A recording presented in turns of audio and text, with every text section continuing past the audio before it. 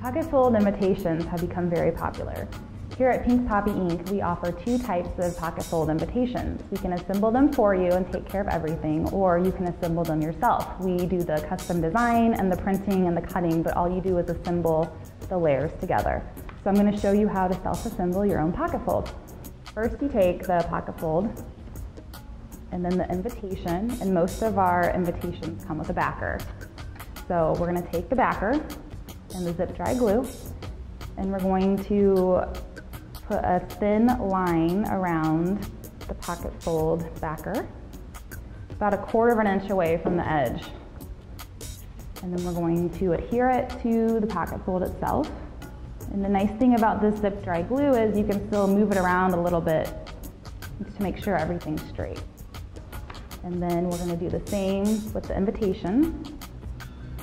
Is a great project for your bridesmaids because if you do it yourself, it could take anywhere between six to eight hours, depending on how many invitations you have.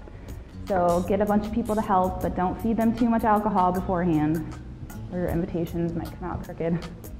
So you can see we have the pocket fold, the backer, and the invitation.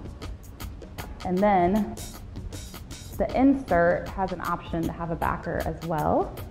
So we're gonna do the same exact thing, quarter of an inch around the edge of the pocket fold insert. And gonna line it up. After your second or third invitation, you'll get pretty good at it. So it looks like this. And then you'll set it to the side and let it dry for about five minutes. And a lot of Pink Poppy Ink's invitations have a tag. Either has like your monogram on it or an image or the date of your wedding. The first thing your guests will see when they open up the invitation.